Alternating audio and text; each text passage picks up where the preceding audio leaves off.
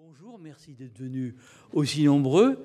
Merci à Monsieur Brochet qui nous accueille en tant que directeur de l'UTBM. Nous sommes dans un amphithéâtre de euh, l'Université de technologie de Belfort-Montbéliard. Euh, je ne veux pas vous présenter Louis Gallois, euh, vous le connaissez tous. Nous nous connaissons depuis longtemps, il n'avait pas 30 ans. Quand, quand, ans, j'ai calculé, que nous nous connaissons. Que nous nous connaissons, mais ça fait quand même beaucoup de temps. Hein, et tu étais tout petit, puisque tu étais devenu me donner un conseil que tu n'as pas suivi en sortant de l'ENA. Hein. Je, je, crois même t'avoir connu avant. Ah bon, c'est encore. Hein, il fait partie de cette promotion suicidaire qui a refusé de choisir dans l'ordre du classement. Voilà. C'est quand même récupéré, je veux dire. Hein, ça m'a lourdement handicapé. Voilà. Je, voudrais dire que Louis, vous l'avez compris, est pour moi un ami. Il a été euh, mon directeur de cabinet très précieux quand j'étais ministre pour la première fois, ministre de la Recherche et de la Technologie, puis de l'Industrie, puis de la Défense. Il était un très grand patron reconnu, de la SNECMA d'abord, ensuite de l'aérospatiale, puis de la SNCF, où M. Juppé est venu le chercher. Pendant dix ans, c'est quand même une certaine longévité. Puis à, à EADS, Airbus et ADS, euh, coprésident, puis président de ADS. Enfin, aujourd'hui, euh, euh, au commissaire, à, commissaire général, commissaire général à euh, l'investissement. À l'investissement et auteur du célèbre rapport gallois qui a été commandé par le Premier ministre Jean-Marc Ayrault, approuvé par lui et qui est à, je dirais, à la source de l'inspiration d'un certain nombre de mesures qui ont été prises. Normalement, euh, Louis Gallois est chargé de suivre l'application de son rapport. Hein voilà. J'ai demandé à Christian Proust de venir pour dire quelques mots de l'expérience de terrain, parce que la compétitivité n'est pas seulement euh, l'affaire d'une politique macroéconomique, ça s'organise aussi euh, sur le terrain. Donc, Christian dira quelques mots, ainsi que moi-même, après avoir écouté l'exposé de Louis Gallois, qui sera évidemment l'essentiel. Puis ensuite, la parole sera à la salle, nous aurons un débat. Il faut malheureusement que nous vous quittions impérativement à 7h moins le quart, car euh, les TGV, vous le savez, n'attendent pas, même le gallois. Donc, euh, je voudrais dire encore une chose de Louis. C'est un homme d'une intégrité parfaite, ce qui devrait ne pas se remarquer, car tout le monde devrait être intègre. C'est aussi un homme qui a toujours su garder une grande bonne humeur, y compris dans les catastrophes. Et pour moi, c'était précieux d'avoir euh, euh, un homme qui était toujours euh, de bonne humeur, qui savait plaisanter au milieu des catastrophes et qui est connu pour avoir un sens, je dirais, un savoir-faire. Il faut dire qu'il a fait HSC pour commencer. Je m'en méfie un peu, mais enfin, finalement, ça c'est plutôt révéler une bonne chose. Et je dirais que surtout, c'est un homme qui a le sens de l'humain. Voilà, Louis, tu as la parole. Euh, merci beaucoup Jean-Pierre. Euh, je suis Madame la Présidente, messieurs. On se connaît depuis également quelques années. Nous, avions un peu plus de cheveux sur la tête tous les deux quand nous nous sommes rencontrés pour la première fois. Je suis très heureux d'être à Belfort. D'abord parce que j'y suis chez Jean-Pierre. Enfin, Belfort ne t'appartient pas. Aucune communauté humaine n'appartient à quiconque. Mais euh, c'est quand même ta ville et euh, je te suis très, très reconnaissant de m'avoir invité et je suis très heureux d'être là. Alors, je vais vous parler d'industrie dans la première région industrielle de France, qui est la Franche-Comté. Euh, c'est un.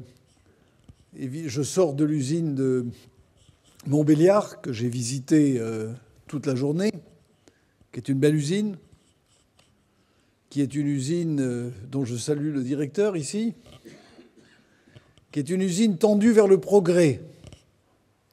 Je n'ai vu que des gens qui m'ont parlé de ce qu'il fallait faire pour progresser. Depuis le directeur, pour le directeur c'est presque normal, mais jusqu'aux opérateurs.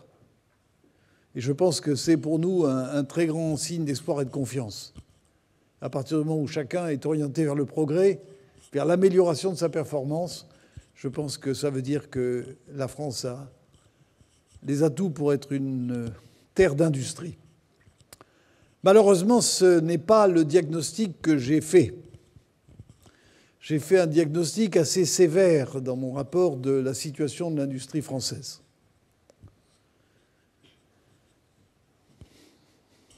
Quelle est la situation de cette industrie? L'industrie française n'a pas pu ou su échapper à la compétition par les prix.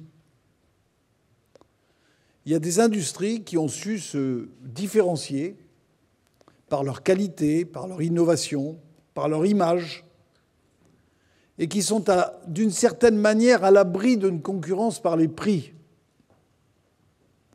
On n'achète pas une, BMW parce qu'elle est bon marché. On achète une BMW parce qu'on veut une BMW. Eh bien, euh, nous avons en France des industries comme cela. Nous avons le luxe. On achète un sac Louis Vuitton parce que c'est un sac Louis Vuitton, pas pour acheter un sac bon marché. Mais il n'y a pas assez en France de ces industries qui se différencient par l'innovation et la qualité et la marque. Nous sommes exposés massivement à la concurrence par les prix de la part de pays où les structures de coûts sont plus favorables que les nôtres et qui le seront toujours, au premier rang desquels les pays émergents. Ceci, d'ailleurs, fait que nous sommes encore plus sensibles que d'autres à la valeur de notre monnaie. Alors que l'industrie allemande est relativement euh, euh, mitridatisée contre les effets d'une montée de l'euro, l'industrie française, comme les industries des pays du Sud, souffre parce qu'elle est exposée à la concurrence par les prix. Quelle en a été la traduction au cours de la décennie précédente, euh, c'est-à-dire de 2000 à 2011 La marge des entreprises industrielles françaises est passée de 30% à 20%. La capacité d'autofinancement des investissements des entreprises françaises est passée de 85 à 90% à à peine plus de 60%. C'est un, un, un niveau historiquement bas. La conséquence, c'est qu'il n'y a pas assez d'investissement. Et que comme il n'y a pas assez d'investissement, il n'y a pas assez d'innovation, il n'y a pas assez de qualité, il n'y a pas assez de productivité, et c'est le cercle vicieux qui s'enclenche. Et la conséquence de cela, c'est que l'industrie française a perdu des positions à l'exportation, qu'elle a perdu de l'emploi massivement, et que nous nous trouvons dans une situation qui nous met maintenant en termes de part de l'industrie dans le produit intérieur brut qui nous met dans le queue du peloton européen. Quelque chose qui n'est pas su, c'est que globalement, l'industrie italienne est plus importante que l'industrie française, en valeur absolue. Quelles sont les raisons de cette situation? Je les ai énumérées, j'en ai énuméré quelques-unes dans mon rapport. Il y a des raisons d'abord générales d'environnement qui ne sont pas favorables a priori à l'industrie en France.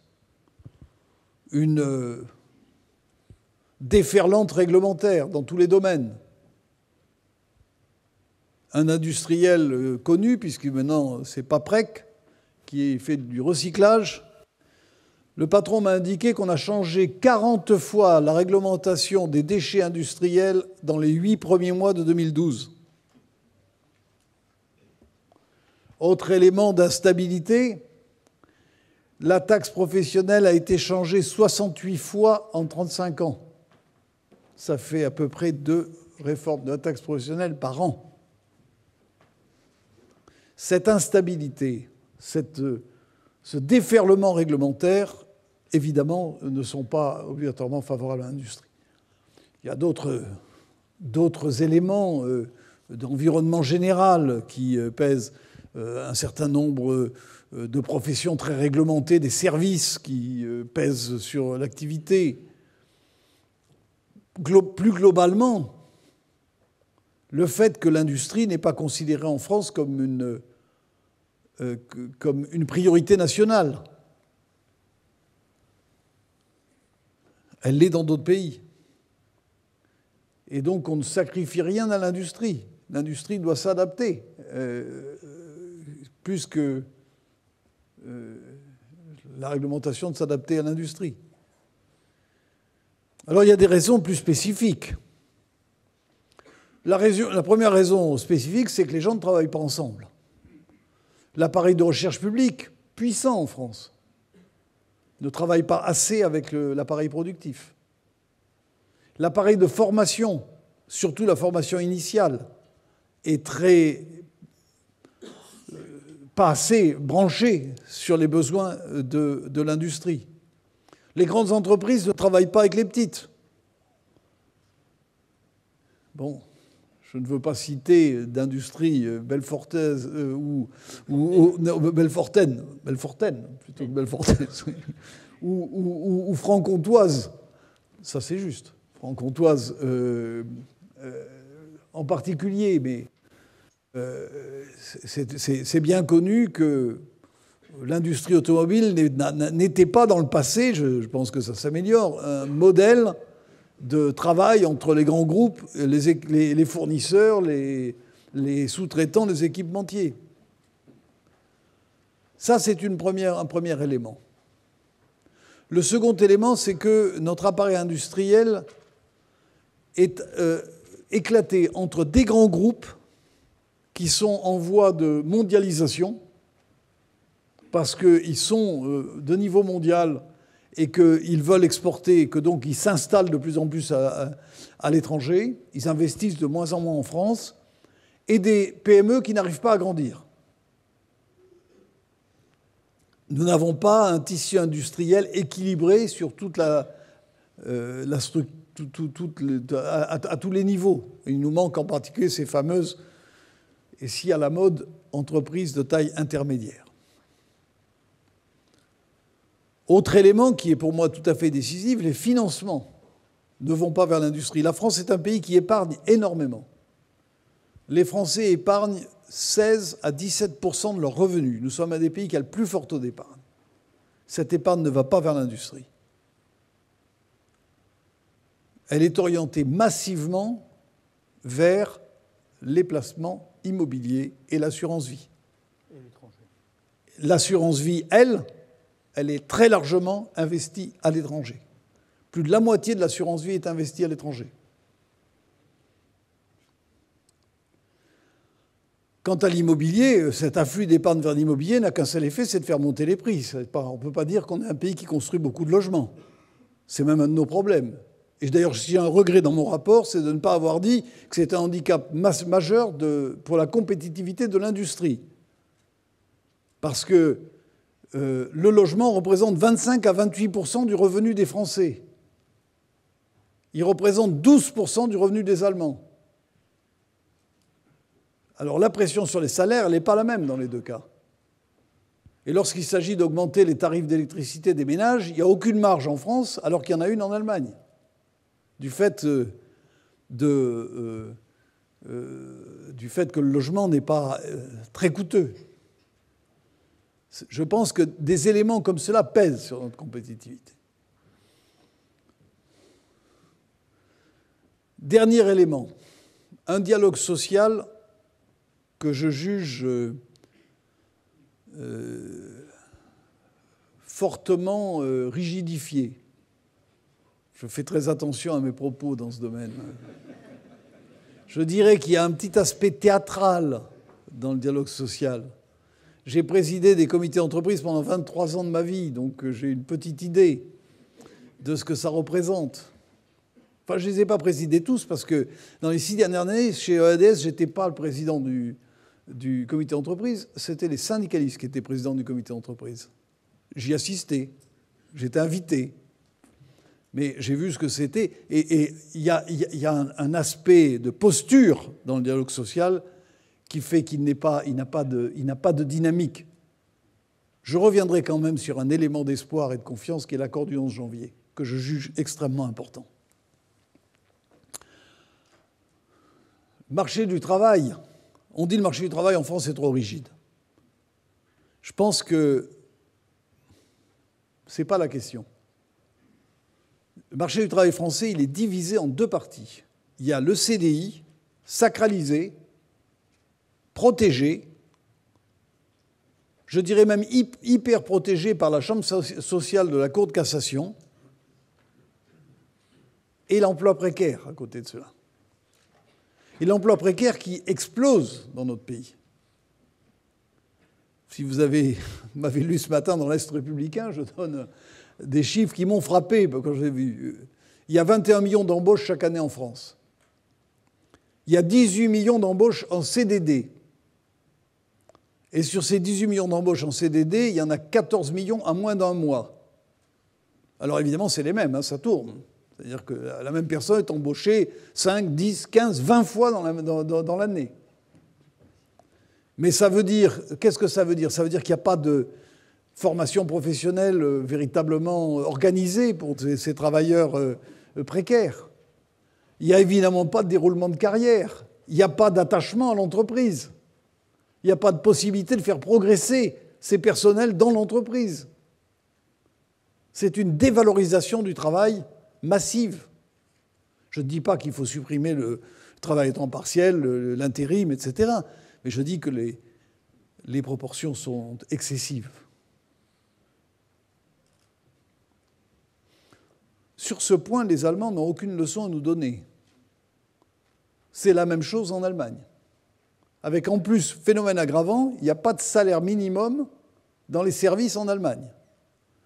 Si bien qu'en Allemagne, il y a 2 millions de salariés qui touchent moins de 4 euros de l'heure, et il y a 8 millions de salariés qui sont en dessous du SMIC français. Cela explique deux choses. D'abord, ça donne de la compétitivité au reste de l'économie, mais ce n'est pas quelque chose que je souhaite pour mon pays. Et deuxièmement, ça se débouche sur un taux de pauvreté en Allemagne qui est supérieur à celui que nous connaissons en France. 16,5% d'un côté, 14,1% de l'autre. Je crois que... Mais il n'en reste pas moins que notre marché du travail est euh, coupé en deux parties presque étanches. Voilà quelques éléments. Alors, je ne veux pas faire euh, vous conduire euh, à vous jeter dans la rivière locale dont j'ai oublié le nom. Savoureuse. La savoureuse. je ne sais pas d'ailleurs si on peut y perdre pied, mais. bon, en tout cas, euh, en, tout cas euh, parce que notre pays a des atouts. Le premier atout, c'est qu'on a un pays riche. Un pays qui épargne 16-17% du revenu des ménages, c'est un pays riche. Le patrimoine des Français a augmenté de 4% l'an dernier. C'est évidemment la montée du prix de l'immobilier qui traduit cela. Nous sommes un pays où il y a des grands groupes J'évoquais euh, la stratégie de ces grands groupes qui est de plus en plus internationale, mais il n'en reste pas moins qu'ils ont des potentiels de recherche, euh, d'animation de, leurs sous-traitants, de leurs fournisseurs en France. Nous sommes un pays où il y a des pôles d'excellence remarquables sur le plan industriel. J'ai eu l'honneur et la joie de travailler dans, l'aéronautique. C'est un pôle d'excellence pour l'industrie française aéronautique et l'espace. la pharmacie, euh, le luxe, euh, une grande partie de l'agroalimentaire. Euh, tout ça, ce sont des secteurs qui, qui montrent qu'il est possible de faire de l'industrie en France. Une recherche, je disais qu'elle était forte. Nous sommes un des quatre, pays, quatre ou cinq pays dans le monde qui est au meilleur niveau mondial pratiquement sur tout le champ de la recherche. Cette recherche n'est pas suffisamment n'embraye pas suffisamment sur la production, mais elle, est forte. Nous sommes un pays qui ne paye pas trop cher son énergie. Jusqu'à quand? Mais qui ne paye pas trop cher son énergie. Nous sommes un pays qui a des infrastructures, des services publics qui fonctionnent. C'est un élément d'attraction et de, et de compétitivité aussi. C'est ces éléments qu'il faut que nous soyons capables de mettre en valeur pour faire face aux faiblesses que je mentionnais. Alors que faire? Comme disait Lénine, mes citations, euh, euh, là où je. Voilà. je voulais essayer de susciter l'attention de mes voisins. eh bien, il n'y a, pas de, a pas de mystère, il va falloir monter en gamme. Monter en gamme, ça veut dire euh, faire de l'innovation, de la qualité, euh, de la productivité. Pour monter en gamme, il n'y a pas non plus de mystère, il faut investir. Pour investir, il n'y a pas non plus de mystère, il faut donner la priorité à l'investissement par rapport à la consommation. Nous avons un, euh, un pays qui a fonctionné, et j'ai été keynésien suffisamment pour, savoir ce que c'est, qui a fonctionné sur l'idée qu'en relançant la demande, on relancerait l'offre. Il se trouve malheureusement que quand on relance la demande en France, ça se traduit par un déferlement d'importation. Parce que nous importons de plus en plus ce que nous achetons. Et donc, je pense que la priorité doit être euh, à l'investissement. Pour que les, entreprises investissent, il faut s'adresser aux patrons des entreprises aussi. Je dirais que mon rapport s'adresse aux patrons d'entreprises patriotiques. C'est-à-dire qui ont la fibre euh, patriotique. Il faut, moi, je souhaite qu'ils soient reconnus pour ce qu'ils apportent dans euh, euh, dans l'économie. Je souhaite qu'on leur donne un peu de stabilité réglementaire. J'ai proposé d'ailleurs qu'un certain nombre de dispositifs, on décide qu'on ne changera pas au cours des cinq prochaines années. Je crois aussi important qu'on leur donne de la visibilité. L'État doit afficher ses priorités. Il ne doit pas avoir euh, se cacher à son petit doigt, il doit dire voilà où nous devons aller. C'est pour cela que je me réjouis de la recréation d'un création d'un comité, d'un commissariat à la prospective. On n'a pas osé l'appeler commissariat au plan parce que c'est plus très à la mode. Ça nous aurait ramené à, à l'auteur de Que faire. Et enfin, bon. Jean Monnet. Jean Monnet, oui, absolument. J'avais des idées précises sur la planification. J'ai même écrit dans une revue que animait Jean-Pierre euh, euh, sur la planification sous un pseudonyme. Donc vous ne retrouverez pas l'article. une des nombreuses revues, que tu as animées euh, depuis Repères, Frontières, etc. Non, il y a eu même non. une revue qui s'appelait Non. Quand même fort, hein je, ne me trompe pas.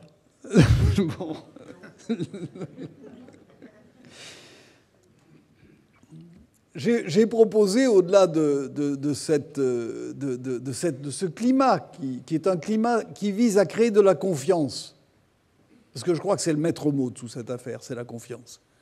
J'ai proposé un choc de confiance que j'ai appelé un choc de compétitivité. Le gouvernement a choisi une autre formule. Et euh, on peut en discuter, mais euh, je la, prends comme telle. Elle est, elle est, puissante. Elle consiste à transférer 20 euh, milliards d'euros euh, vers les entreprises. 1% du PIB, dans la situation budgétaire actuelle, je peux vous dire que c'est un énorme effort. J'aurais peut-être plus souhaité que ça soit plus orienté vers l'industrie, mais ce n'est pas très facile parce que Bruxelles nous interdit de cibler ça sur un secteur particulier, sur l'industrie en particulier. C'est pour ça que j'avais proposé que, l'allègement euh, de coût du travail porte plutôt euh, jusqu'à trois fois et demi le SMIC. Le gouvernement a préféré deux fois et demi pour euh, avoir un effet d'emploi en même temps qu'un effet de compétitivité. Tout cela peut se discuter et peut se comprendre.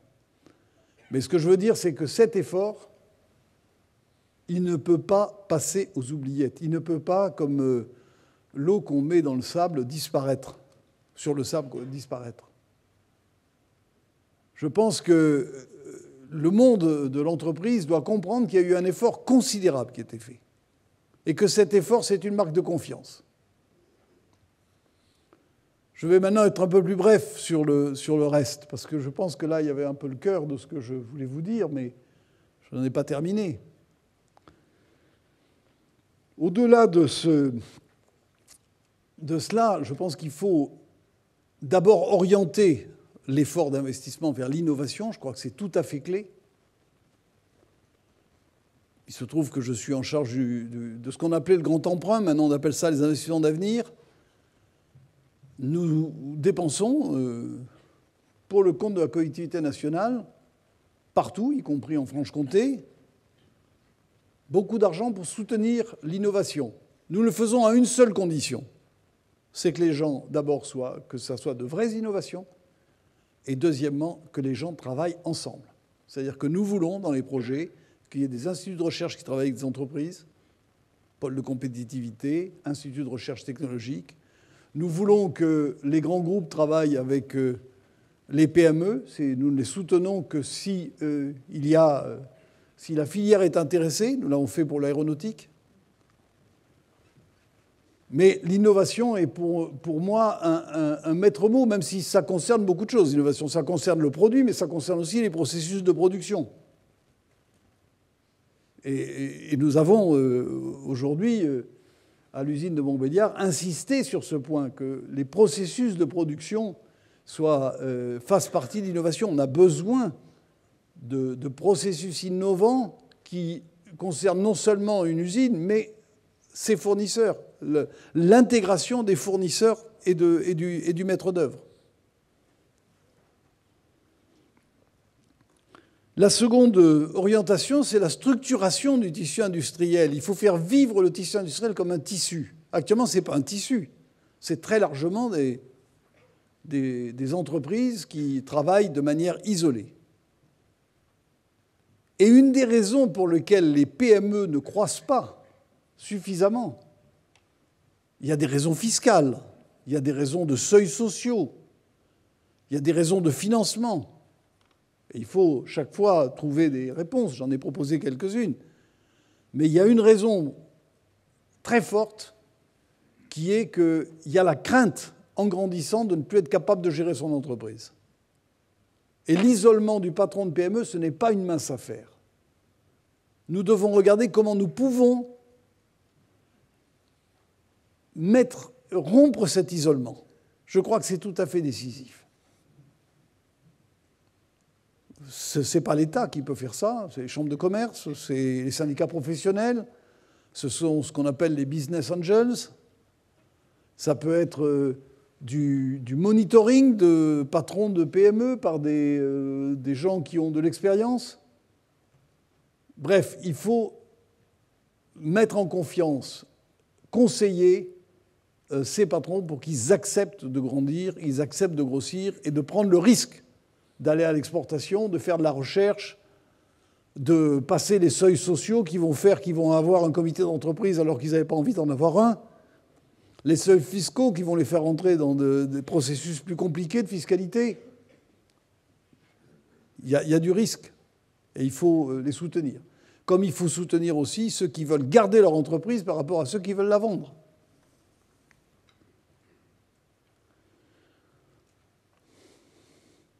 Autre, aspect pour moi tout à fait essentiel, c'est la solidarité des filières. Je l'ai évoqué déjà à deux ou trois reprises. Ça fait partie aussi de la structuration du tissu industriel. Faire travailler ensemble les gens des filières. Et je me réjouis de ce qui se passe actuellement au Conseil national de l'industrie, qui est une, une réflexion de filières qui engage les industriels, les partenaires sociaux sur Comment peut-on développer une stratégie de filière en France? Je me souviens, Jean-Pierre, que nous avons déjà évoqué ces problèmes de filière dans les années 80. Alors évidemment, l'industrie de 80 n'est pas l'industrie d'aujourd'hui. Chaque chose doit être ajustée, adaptée.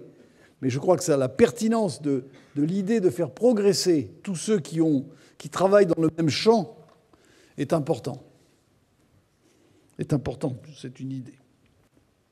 La formation euh, professionnelle. En deux mots, pour la formation initiale, j'ai proposé qu'on double le nombre d'apprentis et de formations en alternance. Alors, le gouvernement n'a pas retenu un objectif aussi ambitieux, mais il a mis cet élément dans son plan, dans son pacte pour la compétitivité, la croissance et l'emploi. Je crois que c'est tout à fait important, à la fois pour mettre les jeunes au travail, et parce que c'est un moyen de donner de la chance à tous ceux qui, dans le cursus scolaire, n'en ont pas eu obligatoirement. Et c'est la meilleure introduction au monde du travail. Je voyais une petite entreprise allemande, 100 personnes, 20 apprentis. Je ne sais pas si vous voyez ce que ça donne. Une entreprise de 100 personnes qui gère 20 apprentis. Et moi, j'avais, euh, à EADS, j'avais autant d'usines en Allemagne qu'en France. Il fallait voir ce que c'était que les lycées d'entreprise. Bâtiments magnifiques, corps enseignants euh, euh, de très grande qualité, des jeunes à partir de 16 ans qui naviguaient entre les salles de cours et les ateliers à côté, plus dans les salles de cours au début, plus dans les ateliers à la fin. Des cursus qui peuvent se développer, c'est-à-dire qu'une fois que vous, avez passé un cursus qui fait de vous euh, euh, un, opérateur de grande qualité, vous pouvez devenir, euh, vous pouvez suivre des cursus qui vous conduiront jusqu'à être ingénieur, ce qu'on appelle le double cursus en Allemagne. Il y a le cursus universitaire, puis il y a le cursus à travers ces filières de, professionnelles. Quant à la formation continue, 31 milliards d'euros, hein, ce n'est pas une paille. 31 milliards d'euros, et je, crois qu'il serait très intéressant de voir si ces 31 milliards d'euros sont utilisés au mieux. Mais euh, une, une, première constatation, c'est que les crédits augmentent et la durée des stages diminue.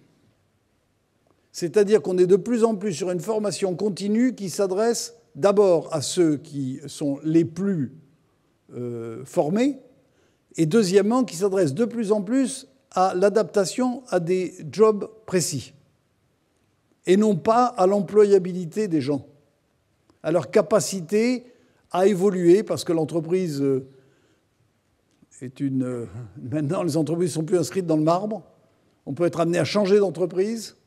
À l'intérieur de l'entreprise, il faut avoir la capacité à changer d'activité. Et ça, ce n'est possible que si vous recevez des formations suffisamment longues, qualifiantes, qui vous donnent des diplômes pour vous permettre de progresser dans la mobilité. Notre appareil de formation continue n'est absolument pas adapté à cela. J'ajoute que cet appareil de formation continue ne s'adresse pas à ceux qui sont les plus éloignés de cette situation d'employabilité, c'est-à-dire les ouvriers non qualifiés des petites et moyennes entreprises, parce que c'est difficile d'organiser la formation dans ces, petites, ces PME, si bien qu'à travers euh, la taxe d'apprentissage, les PME financent la formation dans les grands groupes.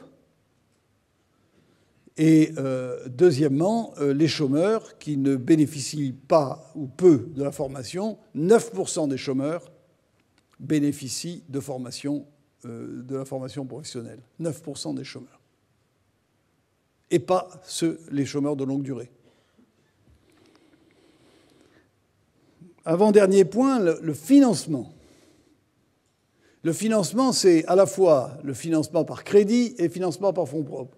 Combien de temps me reste-t-il? Jean-Pierre Bon, enfin, je, oui, enfin, il y a des limites à, tout exposer. Euh, bon, je vais essayer d'aller vite. Finance, surtout que c'est ingrat le financement.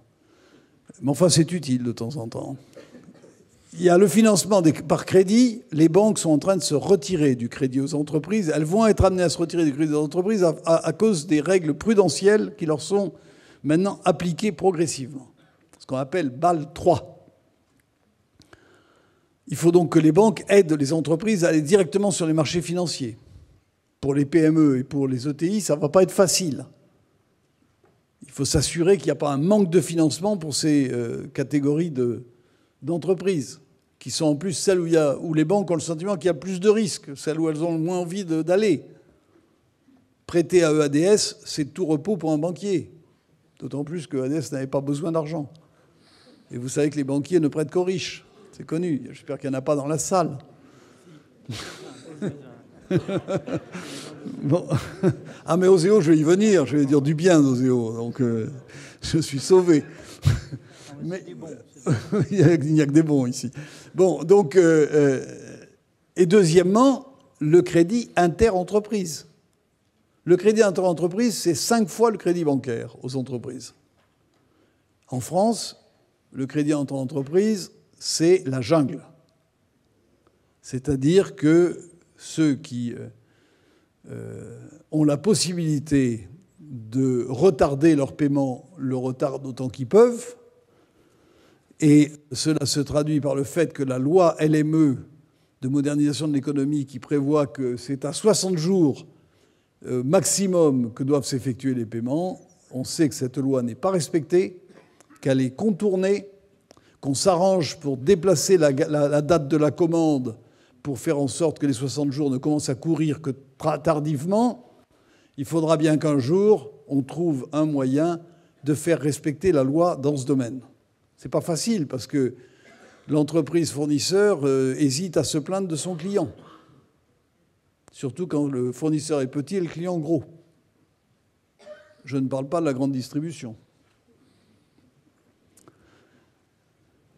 Et puis il y a le financement par fonds propres. Là, je vais être légèrement hérétique par rapport à ce, que, à ce, qui s'est fait. Je suis, euh, il faut une fiscalité qui favorise ceux qui prennent des risques par rapport à ceux qui, euh, qui bénéficient de rentes.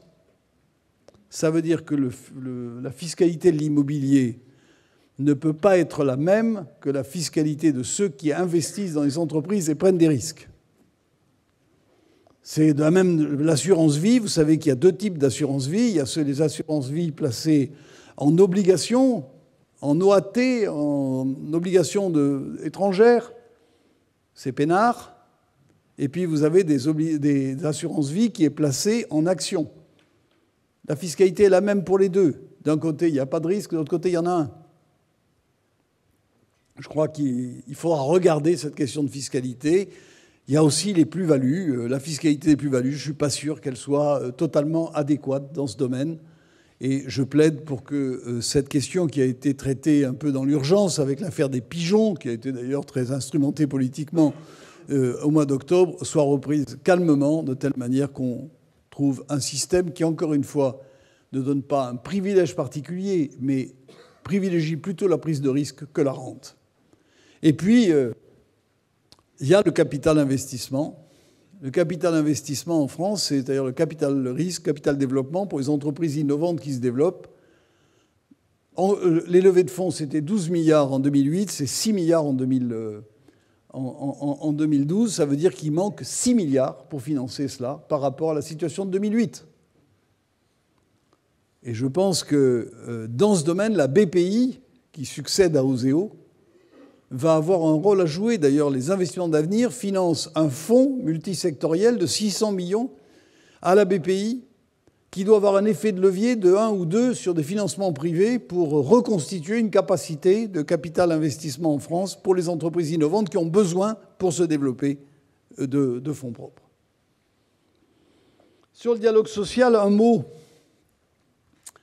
de l'accord du 11 janvier. Je considère que c'est un accord doublement important.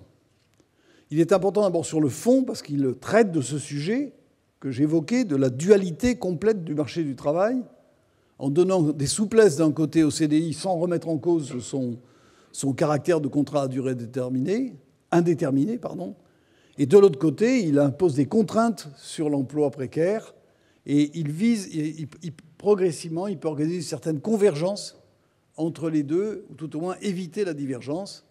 Et euh, il a aussi l'avantage de permettre aux entreprises de s'adapter en, période de crise sans remettre en cause euh, euh, le, caractère du CDI et les protections dont il bénéficie. Je crois que c'est extrêmement important sur, le, sur le fond. Mais c'est également important parce que cet accord a eu lieu. Je pense que si cet accord n'avait pas eu lieu, ça aurait été une sorte de drame pour la France. Ça aurait montré que le dialogue social ne pouvait pas déboucher sur du progrès, sur de la convergence. Je crois que c'est absolument essentiel que cette convergence, cette idée de progrès soit portée par le dialogue social, au moins autant que par l'action de l'État. Alors je sais, cet accord n'est pas parfait. Je sais qu'il suscite les réserves de deux grandes organisations syndicales, mais je le considère personnellement comme une étape majeure dans l'évolution du dialogue social en France. C'est l'accord le plus important depuis 40 ans. Un mot sur l'Europe, et je terminerai là-dessus. Évidemment, une politique de compétitivité en France doit euh, déboucher euh, sur, doit, doit être insérée dans une politique de compétitivité européenne. Il y a une politique industrielle européenne définie par une communication qui a été faite l'été dernier auprès du Parlement et du Conseil des ministres. Si vous lisez ce texte, vous êtes d'accord de A à Z avec ce qu'il y a dedans. Il faut plus d'innovation, plus de formation, euh, des gens plus motivés, des gens bien protégés, mais en même temps de la souplesse. Bref, on n'en tire rien. Tout le monde est d'accord avec ce qu'il y a là-dedans. Rien de concret, rien qui, qui entraîne décision. Si on regarde de plus près les différentes politiques, il y en a deux qui euh, jouent un rôle sur la compétitivité. La politique de la recherche, avec une augmentation du budget de la recherche pour la période de 2014-2020 euh, significative par rapport à, la période précédente. Je n'ai pas vu les derniers chiffres, je crois que c'est 40% de progression. C'est assez significatif. C'est même une des seules bonnes nouvelles de l'accord euh, budgétaire sur ce point. Il y a la deuxième politique à laquelle je trouve de l'intérêt, c'est la politique du marché intérieur menée par Michel Barnier. Il a fait progresser le brevet européen. On est pratiquement au bord de la ratification par les États de l'accord sur le brevet européen, une affaire qui a 25 ans d'âge, qui a été bloquée pendant 10 ans pour des problèmes de langue. En combien de langues seront rédigés les brevets? On, s'est battu pendant un an, un an et demi pour savoir où serait localisé l'Office des brevets. Pendant ce temps-là, le reste du monde, il tourne. Hein. Il s'en fout, de ce qui se passe en Europe. Hein. Et euh, pendant ce temps-là, euh, déposer un brevet en, Europe, c'était cinq fois plus cher que de le déposer aux États-Unis. Là, il y a un progrès. Je pense que quelque chose a été cranté. Je pense que ce qui a été fait dans le domaine bancaire aussi, en termes de supervision des banques au niveau européen, moi, je suis favorable à la supervision au niveau européen parce que la, proximité des superviseurs nationaux avec les banques nationales avait conduit à une sorte d'endogamie qui faisait que le contrôle n'était pas vraiment assuré. On a vu ça dans un certain nombre de pays. On a vu ça en Grande-Bretagne, on a vu ça en Allemagne, on a vu ça aux Pays-Bas, on a vu ça en Espagne, un peu moins en France puisqu'il n'y a eu qu'un gros, accident en France, c'est Dexia. Mais je pense que là, il y, a, il y, a, quelque chose qui a progressé. Il y a deux politiques qui sont totalement absentes, et c'est dramatique. La politique de l'énergie et la politique des matières premières.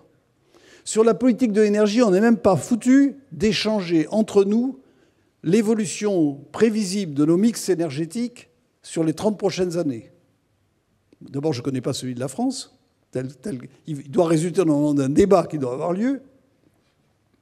Celui de l'Allemagne nous intéresse énormément. Nous n'avons pas des idées claires sur comment va évoluer le mix énergétique allemand sur les 30 prochaines années. Ils sont en train de s'apercevoir que le démantèlement du parc nucléaire va leur coûter 1000 milliards d'euros. C'est le chiffre qui a été annoncé par M. Altmaier, le ministre de l'Environnement, en Allemagne. Pas directement, c'est par les coûts induits de ce désengagement du nucléaire. Bon, qu'est-ce que, quelles vont être les réponses à cela? L'Italie, l'Espagne, les grands consommateurs, la Grande-Bretagne, on n'a pas de vision de l'évolution du mix énergétique sur les prochaines années. Il n'y a évidemment pas d'accord pour savoir s'il faut continuer à brûler du charbon en Allemagne ou s'il faut aller chercher les gaz de schiste en France. Je pense que ça, c'est une question tout à, fait, euh, euh, tout à fait dramatique. La seconde question, c'est les matières premières. La Chine, les États-Unis et la Russie développent des politiques de matières premières et de sécurisation de leurs approvisionnements. L'Europe ne fait rien dans ce domaine.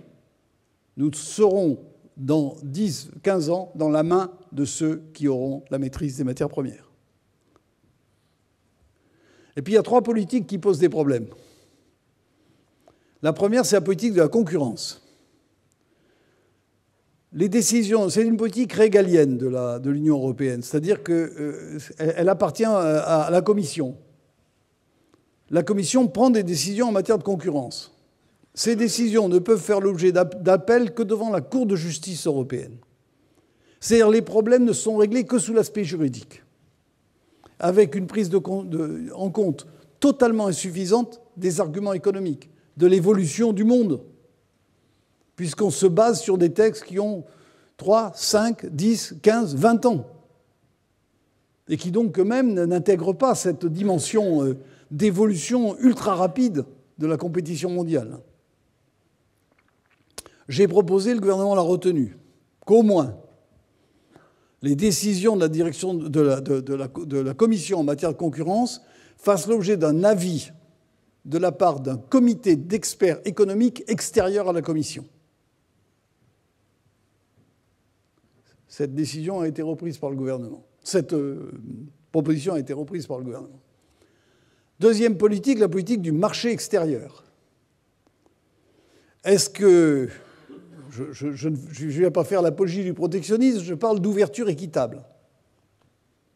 Qu'est-ce qui se passe en matière de marché public, de respect de la propriété intellectuelle, de respect des règles de sécurité et sanitaires, de, respect des conventions de, de l'OIT sur le travail des enfants et sur un minimum de règles sociales Est-ce que nous acceptons la concurrence de la part de pays qui euh, ne joueraient pas euh, avec les mêmes règles que les nôtres. Ça ne concerne pas que les pays émergents, ça concerne euh, un certain nombre de pays euh, tout à fait développés.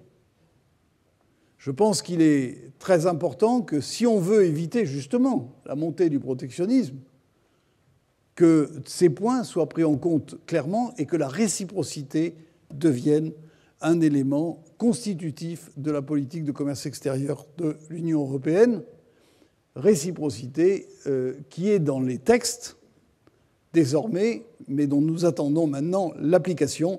J'ai vu que M. De Gurt, le commissaire en charge, s'était un peu énervé vis-à-vis de la Chine, mais il faut voir aussi comment les Américains, eux, agissent dans ce domaine.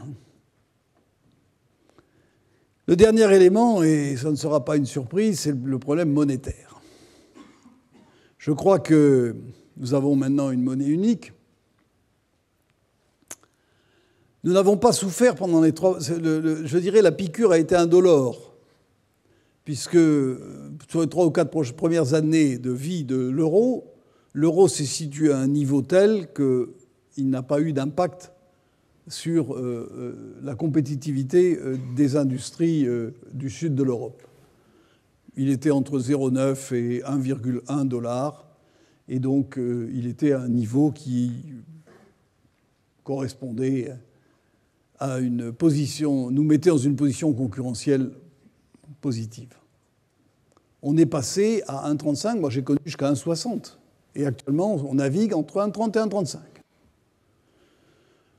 Les économistes considèrent que la parité de pouvoir, euh, vocabulaire un peu techno, techno mais c'est-à-dire que le point d'équilibre, c'est entre 1,15 et 1,20. Quand on est à 1,35, on est à 15, 10, 15% au-dessus. Ça a un impact considérable. Pour une entreprise comme la mienne, euh, quand j'étais patron de, ADS, 10 centimes d'évolution de l'euro par rapport au dollar nous coûtait en résultat net 1 milliard 200 millions. C'est gigantesque. Alors, c'était l'entreprise la plus exposée à ce genre de choses. Mais euh, toutes les industries, peu ou prou, souffrent de cela, même le luxe. Dans une formule que je, un peu caricaturale, je dis l'euro fort renforce les forts et affaiblit les faibles. Qu'est-ce que ça veut dire? Ça veut dire que l'euro fort euh, accroît les divergences au sein de l'économie européenne entre les industries qui se sont mis à l'abri de la compétition par les pays. C'est le cas de l'industrie allemande, qui, elle, au fond, euh, trouve que l'euro fort, c'est bien parce que ça euh, freine l'inflation dont ils ont horreur et qu'en plus, euh, ça leur permet d'importer moins cher leurs produits, mais le reste de l'Europe, ou tout au moins l'Europe du Sud, dont la France fait partie, cette hausse de l'euro asphyxie les exportations et remet en cause tous les efforts de compétitivité que l'on fait en interne. On n'en est pas là à un 32 ou un 33, mais on est dans une zone on commence à être dans une zone qui devient dangereuse. Je crois donc qu'il y a un vrai sujet sur la valeur de l'euro. Et je pense que l'euro fort est le principal ennemi de l'euro. Si l'euro continue à être fort, ça sera le problème de l'euro. Parce que je ne suis pas sûr que la solidarité européenne puisse résister à euh, une période de longue durée euh, sur l'euro. Voilà ce que je voulais vous, dire, euh, pas en quelques mots, un long exposé, sur euh, quelques-uns des éléments de la compétitivité. Un dernier élément. Je pense qu'on ne peut réussir une opération de retour, reconquête de la compétitivité qui va prendre du temps, qui va être longue, que si euh, il y a un accord du pays sur la priorité industrielle et un accord euh, persévérant, persistant sur la, priorité industrielle. Et je crois aussi que cet effort n'est possible que si les Français ont confiance. Ont confiance dans l'action de l'État, ont confiance dans leurs entreprises et ont confiance en eux-mêmes. Et euh, je fais beaucoup de discours actuellement sur euh, la compétitivité. Et ce qui me frappe, c'est le pessimisme et le scepticisme des Français. Surtout des élites. Plus on monte haut, plus on est pessimiste, plus on est sceptique. Et je crois qu'il y a là euh, un élément tout à fait euh, important, qui s'adresse plutôt au gouvernement qu'à moi-même, mais c'est de, donner le pacte de compétitivité qu'a lancé le gouvernement, plus l'accord du 11 janvier, y aide, mais de donner le sentiment de confiance. Je pense que c'est tout à fait clé, surtout dans une période où on n'est pas sûr que la conjoncture nous aide. Merci.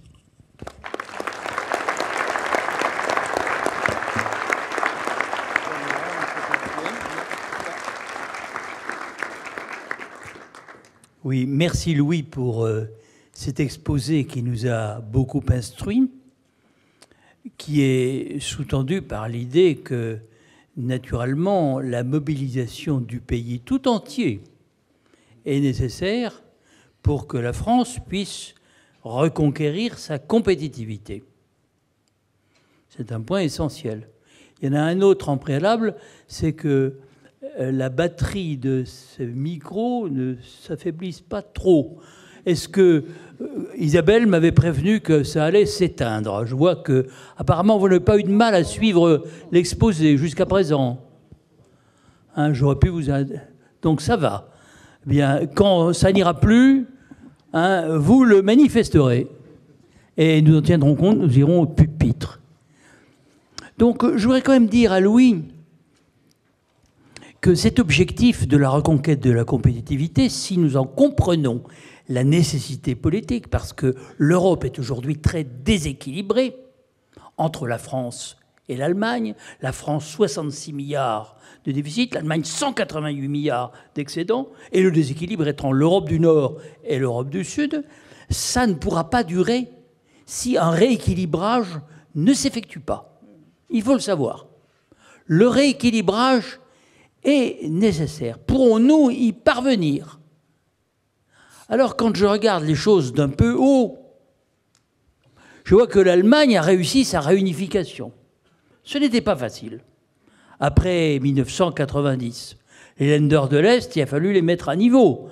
Et puis aussi, il a fallu euh, garantir les retraites, les salaires, 100 milliards d'euros pour le moins de transferts chaque année.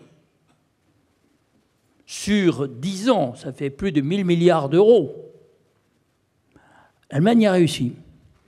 Est-ce que nous sommes capables de faire un effort qui n'est peut-être pas tout à fait comparable, encore qu'à mon avis, il ne doit pas être très différent? Euh, C'est une question qui est posée au peuple français et à la France. Alors j'ajoute tout de suite pour euh, bien préciser les choses que nous ne sommes pas dans la même période. 1990, il y a eu quelques oscillations, mais c'était une période de croissance assez forte. 2010, en Europe, c'est la récession. Moins 0,6% de PIB pour la zone euro au dernier trimestre. Et avec le concours de rigueur qui s'organise dans le cadre du euh, traité sur euh, la coordination TSC, G, la stabilité, la coordination et la gouvernance, traité budgétaire européen, ça ne peut guère s'améliorer. Chacun le comprend. Donc, euh, est-ce qu'on peut faire cet effort et est-ce que on va y réussir? C'est la même question que tu poses à travers l'euro. Comme tu sais, hein, je suis das Geist, das immer verneint, l'esprit qui toujours nie, qui toujours dit non. J'ai dit non au traité de Maastricht. Je t'ai mis l'escabeau sous les pieds. Non, tu, tu n'avais pas précisé. Mais disons que si j'ai dit non à ce moment-là, c'est que, avec d'autres, c'est que, beaucoup d'autres même, c'est qu'il y avait une évidence, c'est qu'on mettait ensemble, sous le toit d'une monnaie unique, des pays aux structures économiques très différentes, aux cultures très différentes, aux orientations politiques différentes. Et je ne parle pas seulement de l'Allemagne et de la Grèce. Vous savez, l'Allemagne et la France, c'est pas la même chose. Il y a des différences. Hein, ce sont des peuples différents, irréductiblement différents. Évidemment, il faut toujours faire des compromis. Hein, Ce n'est pas toujours facile, mais on y est arrivé depuis un certain nombre d'années. Mais est-ce qu'on va y arriver? C'est euh, la question que je te pose. Est-ce que la France est capable de faire euh, de tels efforts? Euh, Nous avons des atouts, tu l'as dit. Le gouvernement je crois que ton rapport a joué un rôle extrêmement important parce qu'il a permis au gouvernement de fixer un cap à long terme. Et pour en avoir beaucoup discuté avec François Hollande, avec Jean-Marc Ayrault, je pense qu'ils ont compris le message qui était dans ton rapport. Et non, mais c'était très important parce qu'au départ, ça ne passait pas facilement et dans le gouvernement et je dirais euh, dans la majorité, euh, etc. Mais il faut regarder assez loin, avoir une vision, fixer un cap. Je pense que ce cap a été pris. Je pense que tu as joué un rôle éminemment positif. Mais aujourd'hui, nous sommes dans une situation très difficile. On peut regarder vers l'Allemagne, après tout c'est la locomotive, c'est d'elle que devrait venir la relance. Au niveau des salaires, c'est imperceptible. Même l'économie allemande aujourd'hui est touchée, pas encore par la récession, mais par la stagnation du fait de la, diminution considérable de ces marchés dans les pays de l'Europe du Sud. Par contre, vis-à-vis des pays émergents, ces exportations croissent. Les nôtres aussi, je reviens de Russie, nos exportations l'an dernier ont cru de 15%. Et nous allons produire bientôt, dans quelques années, plus du tiers des voitures fabriquées en Russie. Renault et Peugeot. Plus du tiers. Plus d'un million. Un million, deux cent mille, trois cent mille sur trois millions et demi. Et c'est un marché qui s'envole. C'est une bonne chose. Chez nous, c'est pas la même chose. C'est un marché qui se casse la gueule. Hein. Donc, euh, il faut sauver Peugeot. Je dirais, c'était un peu l'objet de ta visite. Peut-être tu pourrais nous en dire un mot. Hein est-il enfin, possible de dire au stade actuel des choses, euh, enfin, de faire état de, certaines orientations possibles, même euh, à long terme, parce que ça nous intéresse beaucoup. Je reviens à l'Allemagne. L'Allemagne s'est crispée sur une position qu'on peut comprendre. L'Allemagne est un pays qui vieillit. Elle a 200 000 naissances de moins que la France chaque année, mais son vieillissement est frappant. Ces gens veulent avoir une retraite. Je pense qu'il faut comprendre aussi la psychologie de ces dirigeants.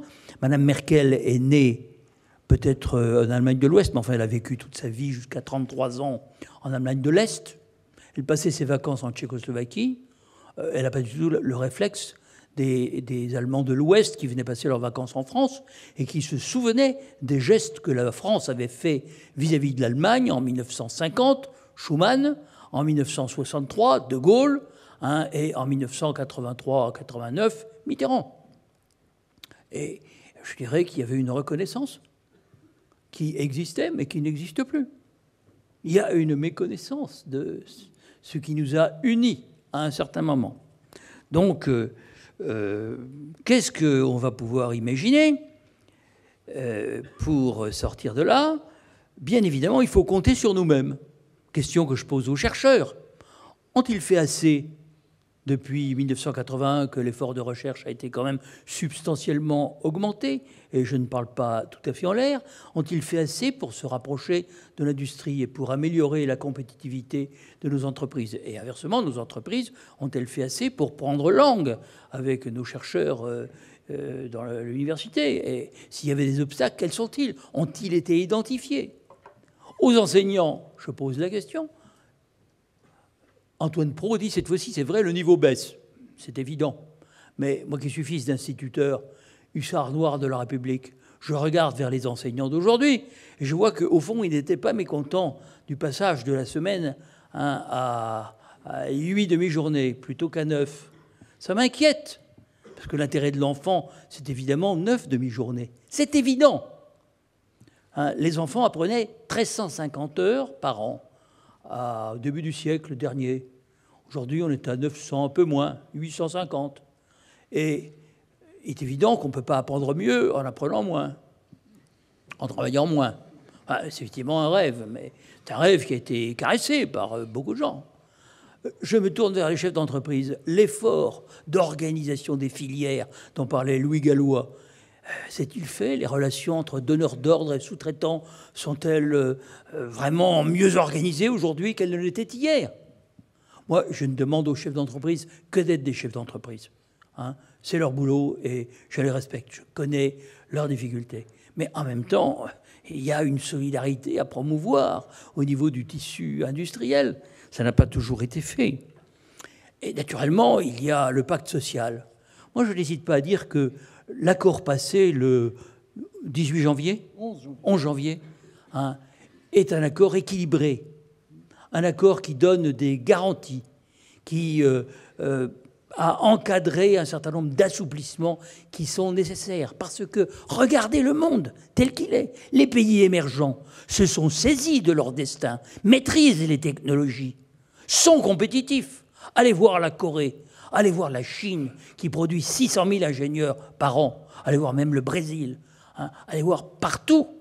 Hein. Ils sont sortis de la situation où nous les avions plongés. Quatre siècles de domination euh, européenne et occidentale. Et ils veulent prendre leur revanche sur l'histoire des civilisations milliardaires en hommes, la Chine, l'Inde, désireux de se saisir de tous les moyens de la technique. Ils ne nous laisseront plus de répit. Donc, euh, il ne s'agit pas de s'aligner sur eux, mais il s'agit de faire en sorte qu'au sein de l'Europe, menant la politique euh, d'échange, comment tu as dit, équitable, hein? Oui, euh, de faire en sorte qu'il n'y ait pas de déséquilibre au sein de l'Europe. Et notre défi n'est pas chinois, il est allemand. Il faut dire les choses telles qu'elles sont. Nous devons répondre aux défis que nous jette l'industrie allemande. Voilà. C'est pas plus difficile que ça. Et au niveau de nos syndicats, moi je voudrais leur dire qu'il est absolument nécessaire qu'ils élèvent leur vision à la dimension mondiale. On ne peut rien résoudre à la petite échelle euh, des nations, même quand nous sommes une grande nation, mais ce n'est pas possible de parler, par exemple, de la lutte des classes en France sans voir que ce problème est en réalité un problème beaucoup plus général et que lutter pour la sécurité sociale en Chine est sûrement plus efficace que tout ce que nous pouvons faire ici. Mais ça ne décourage pas de faire ce qu'il faut ici, mais on peut le faire dans un esprit d'écoute respective et surtout avec une capacité d'anticipation. Car on ne peut s'en sortir que si on met ensemble toutes nos énergies, toutes nos imaginations, avec le souci bien évidemment de l'équilibre et de la justice sociale. C'est cela que le gouvernement approuve à travers euh, les propositions que tu as faites Louis, et je pense qu'il faut rendre nos concitoyens tout à fait conscients de ce défi qui est devant nous. Il n'est pas facile à relever. Hein. J'aurais pu dire bien des choses. Faut-il aller plus loin? Moi, personnellement, j'ai toujours pensé qu'il valait mieux augmenter la TVA que euh, d'augmenter la CSG parce que la TVA est remboursable aux exportateurs, hein, les importateurs doivent la payer, donc euh, c'est un argument de la compétitivité. Les Allemands n'ont pas hésité à le faire, ils ont pris trois points de TVA en 2007. Ils n'en avaient même pas besoin. Mais ils l'ont fait. Alors, ne serons pas plus bêtes que les autres. Hein, et tâchons de nous défendre. Ah, je dis ça en passant, parce que ce n'est qu'un tout, tout, petit aspect de la question. Sur le problème de l'euro, bah, la question va se poser de savoir si l'Allemagne fait des efforts, il va y avoir des élections en Allemagne, probablement il y aura une grande coalition, probablement ils vont quand même instituer un SMIC, enfin. Ah si, si, je le crois. Je pense que le SPD fera euh, payer à la grande coalition. Euh, je me permettrai, j'aurai un droit de réponse. Tu auras un droit de réponse au mois de septembre, puisque c'est au mois de septembre. Hein. Mais je suis un incurable optimiste. Hein. Et même ça ne suffirait pas. Et la question qui est posée est de savoir s'il ne faut pas tenir compte de la compétitivité au, sein de la zone euro. Un grand économiste allemand, Hans Werner Zinn, le patron d'un institut qui s'appelle l'IFO, préconise qu'il y ait euh, je dirais, des ajustements à l'intérieur de la zone euro qui peuvent être provisoires. Mais est-ce qu'un euro du Nord provisoire, un euro du Sud provisoire, tant que les compétitivités n'auraient pas converger ne serait pas euh, une euh, bonne réponse à la situation dans laquelle nous risquons de nous trouver. Il y en a peut-être d'autres. Explorons-les toutes. Et moi, personnellement, je soutiens le gouvernement, les yeux ouverts, comme je l'ai dit. Euh, le 13 mars dernier, quand j'ai apporté mon soutien à François Hollande, les yeux ouverts parce que, naturellement, je ne peux pas m'empêcher de penser. C'est très difficile. Et je n'ai pas changé d'avis sur le fond. C'est très difficile, mais au moins la direction qui a été montrée est la bonne. Et je pense que nous en sommes, euh, en tant que citoyens, très reconnaissants. Nous, euh, avons retroussé les manches dans le territoire de Belfort il y a déjà longtemps, parce que nous savons que la compétitivité, c'est aussi une affaire de terrain.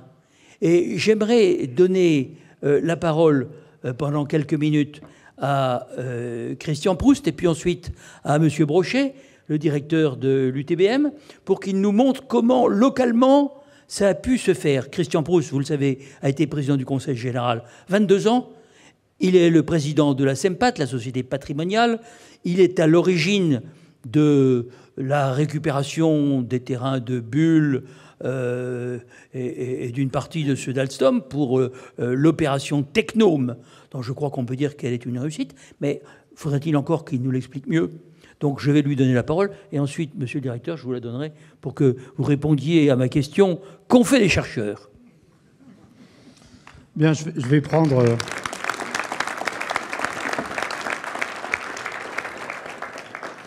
Bien, vous allez avoir un, choc parce que vous avez eu deux vues d'en haut, deux regards qui surplombent les réalités. Puis là, vous allez vous rapprocher du terrain. Euh, donc, euh, une vue d'en bas, en fait. Hein, mais le bas a aussi d'importance. Mouvement d'en haut et mouvement d'en bas. Jean-Pierre, c'est une, vieille formule aussi. Hein. Donc, euh, bien, on a créé l'Agence de développement économique il y a 36 ans, c'est-à-dire 7 ans après que Louis Gallois et Jean-Pierre Chevement se sont connus. Donc, parce qu'on a toujours cru ici dans le territoire à l'action économique des collectivités locales. Je le dis parce qu'il y a 36 ans, en fait, la, euh, légitimité d'une intervention des collectivités locales sur l'action économique était très, très, très discutée. Enfin, c'était vraiment euh, un, enjeu de, bataille politique, pas du tout évident, en fait. Hein. Alors, je ne vais pas remonter 36 ans en arrière, je, vais, je voudrais euh, me, centrer sur l'expérience de, de Tectum, rappeler quelques mots en, quelques mots, je dirais, ce qu'est Technome, et puis ensuite tirer quelques leçons de, ce que nous avons fait avec l'ensemble des partenaires du territoire de Belfort, pour montrer l'importance de l'action locale euh, sur ces sujets, l'importance de, la dimension des politiques locales de soutien à l'industrie. Quelques mots sur, sur. Euh, Technome, c'est d'abord 110 euh, hectares, près de 500 000 m2 de, de, bâtiments industriels et de bureaux, 7 500 emplois, dont 5 000 dans l'industrie. Hein, donc euh, euh, une histoire euh, donc importante avec un site qui est après le site de Peugeot, notre site voisin, le deuxième site industriel en fait de Franche-Comté. Hein. donc c'est alors la différence avec Peugeot, c'est que c'est un site, je dirais, avec 130 entreprises. Euh, de, taille très très diverses. Donc, euh, les deux grandes entreprises, Alstom et General Electric, mais à côté de ces deux noms euh, mondialement connus, il y, en a d'autres mondialement connus, Téléperformance, IBM, un certain nombre de, bureaux d'études renommés, à Système, Altran, AK Technologies, des PME, LGE, enfin je ne vais pas toutes les citer, il y en a 130, donc ça serait trop long. Donc une très grande diversité d'entreprises. Technome, euh, c'est aussi deux collectivités locales, le Conseil général du territoire et la communauté d'agglomération euh, de Belfort, qui ont décidé il y a près de 15 ans en fait, de prendre en charge la restructuration d'un site industriel, ce qui n'était pas forcément euh, évident, qui ont investi avec le soutien de l'État, du FEDER et de la région de Franche-Comté, donc près de 30 millions d'euros, pour requalifier l'ensemble du site et le mettre au niveau, je dirais, des exigences de, compétitivité euh, qu'il était nécessaire d'atteindre. Alstom, euh, Technum, pardon, euh, c'est aussi en fait deux grands acteurs immobiliers.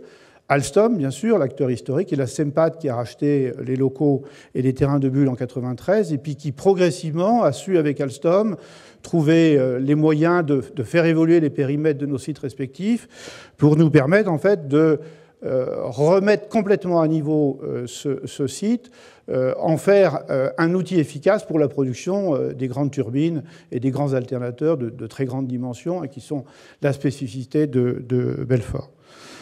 Technome, enfin, c'est 175 millions d'euros hein, investis euh, par la SEMPAT, en fait. Hein. donc, euh, il faut multiplier en gros par 400 hein, pour faire le rapport entre le territoire de Belfort et, la France. C'est l'équivalent de 30 milliards d'euros d'investissement dans des bâtiments euh, industriels, de bureaux, hein, qui, ont, qui, ont, répondu aux besoins, qui ont cherché à répondre aux besoins de, nos grands clients, les, grands groupes, General Electric et, Alstom, mais aussi l'ensemble de leurs sous-traitants et, de leurs fournisseurs.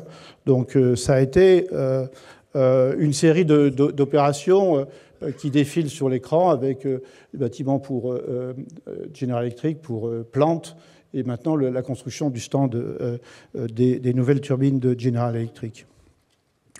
Voilà. c'est un survol très rapide, hein, bien entendu, mais vous êtes là aussi. Enfin, j'ai souhaité laisser la plus de place possible au débat avec, avec Louis Gallois. Hein.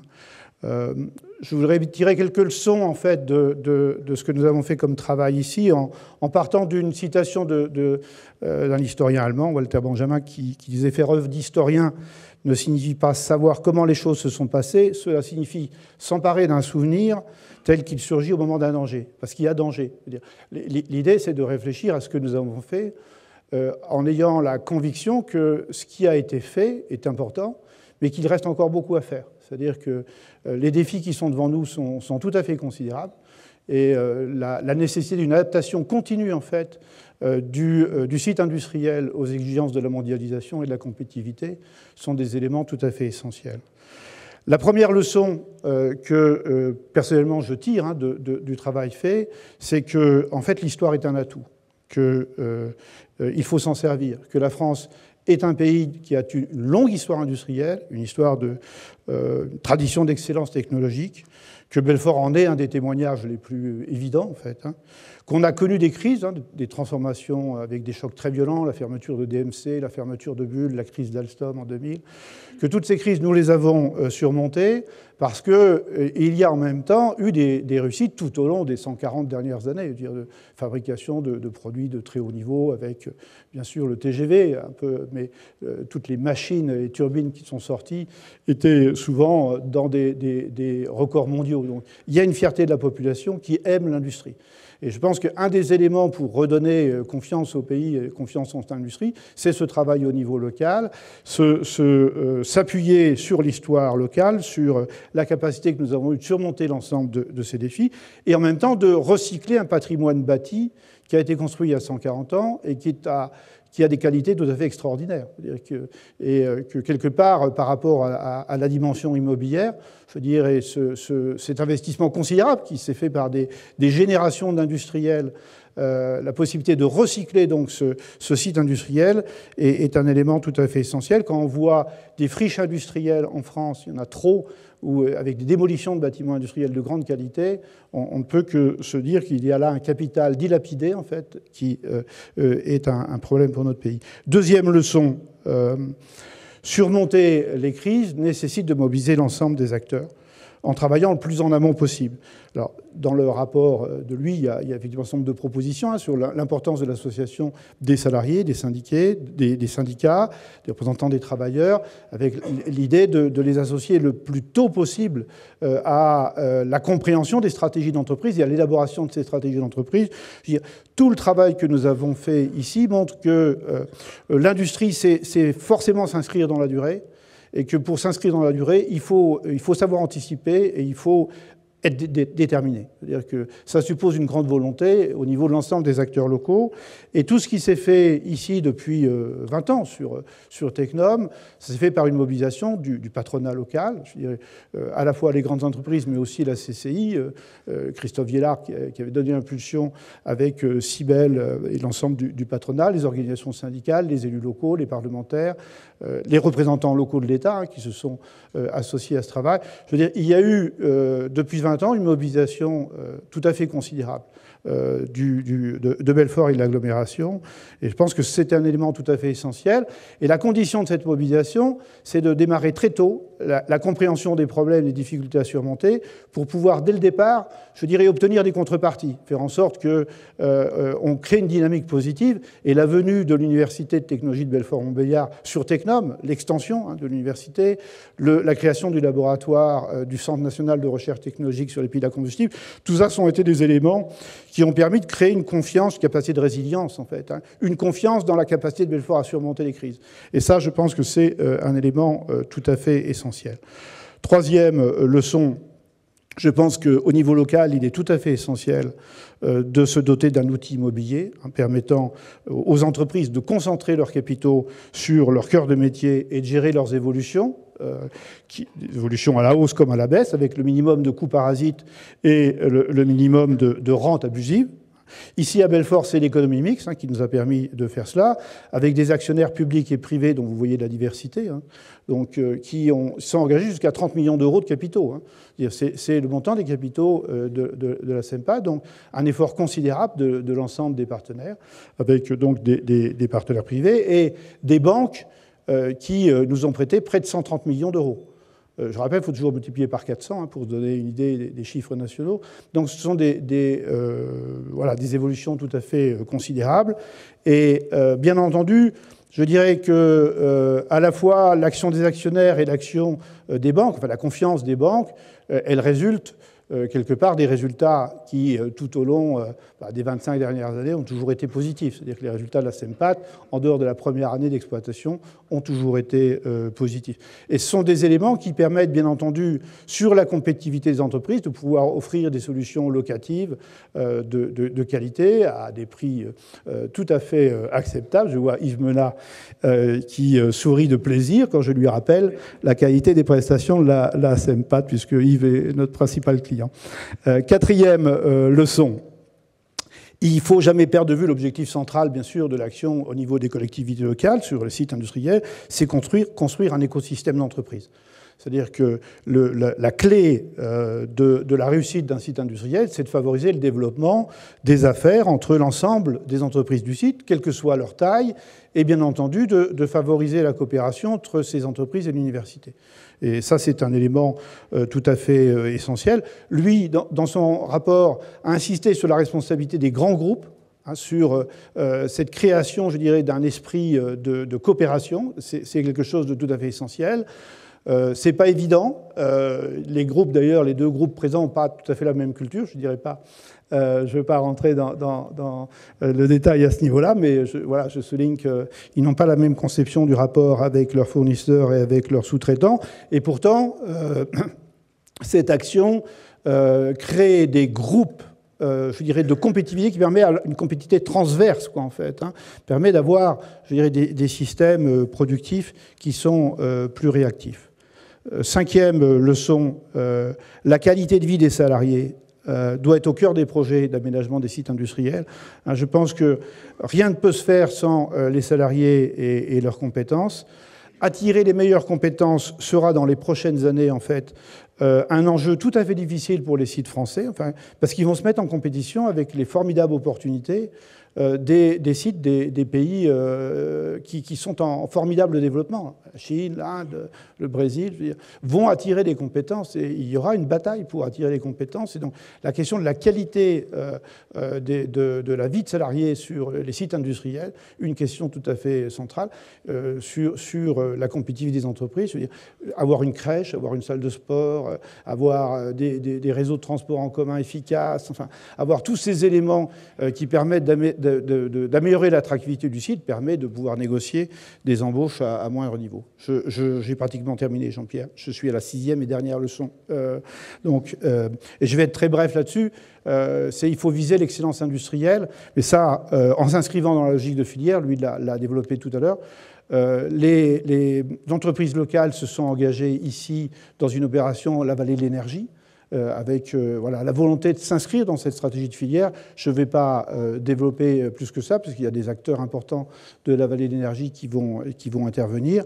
Je conclus définitivement sur la jonction pour m'adresser, pour élargir mon propos à l'ensemble de l'ère urbaine. Hein. L'Europe et la France ont quand même une certaine tendance à choisir la métropolisation comme solution à l'insertion dans la mondialisation, c'est-à-dire concentrer quand même des, équipements, euh, des services publics et des services privés de grande qualité, de haut niveau, dans quelques grandes métropoles.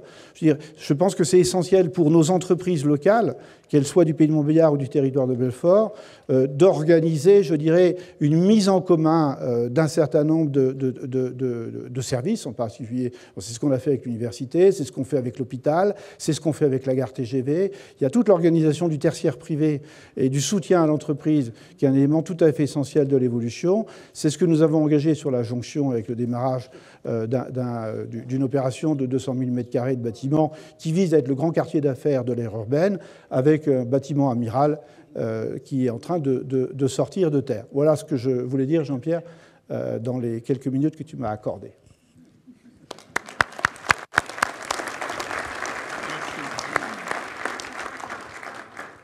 Merci Christian d'avoir fait un effort, mais si je veux pouvoir donner la, parole à la salle, il faut aussi que M. Brochet euh, contracte sa pensée.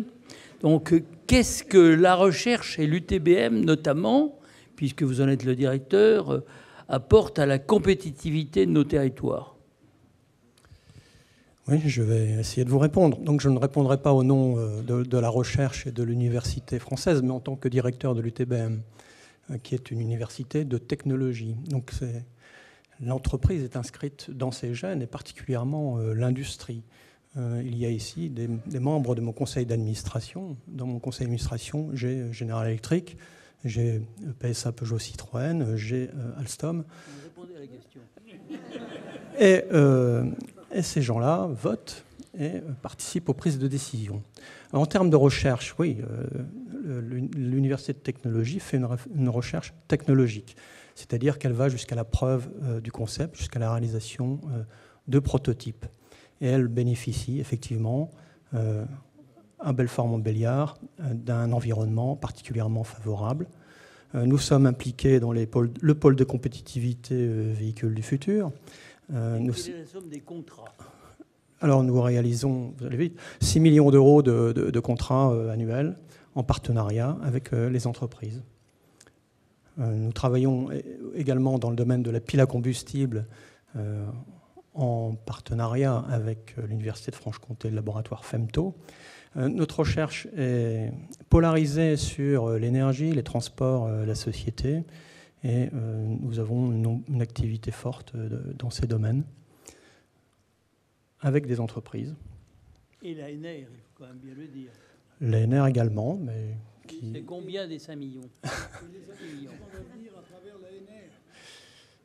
Alors sur les, les 6 millions... Euh, combien viennent de l'ANR Je pense 1,5 million, entre 1,5 million et 2 millions, oui.